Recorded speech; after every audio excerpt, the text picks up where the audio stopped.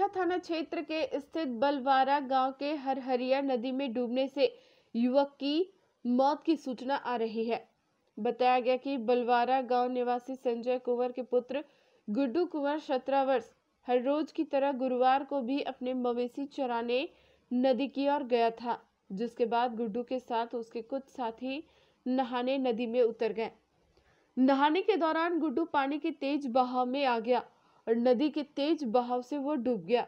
घटना की जानकारी गुड्डू के मित्रों द्वारा उसके परिजनों और गाँव वालों को दी गई, जिसके बाद सभी लोग नदी पहुँच गुड्डू की तलाश में लग गए।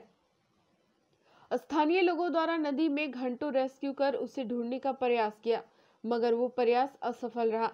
फिर ग्रामीणों द्वारा घटना की जानकारी हंसडीहा पुलिस को दी गई, जिसके बाद एएसआई अनुरंजन मिंज, बिंदु सिंह मनोज सिंह पुलिस बल के साथ मौके पर पहुँचे। समय रहते एनडीआरएफ की टीम उपलब्ध नहीं रहने के कारण पुलिस द्वारा मसान ज़ोर से स्थानीय गोताखोर को बुलाया गया। गोताखोर रस्सी के सहारे जब नदी में उतरा तो पानी के तेज बहाव के सामने वो भी नतमस्तक हो नदी से बाहर निकल गए। अंततः पुलिस प्रशासन सहित ग्रामीणों को वापस लौटना पड़ा। वहीं मामले को लेकर थाना प्रभारी आकृष्ट अमन ने बताया कि एनडीआरएफ देवघर की टीम से संपर्क किया जा रहा है।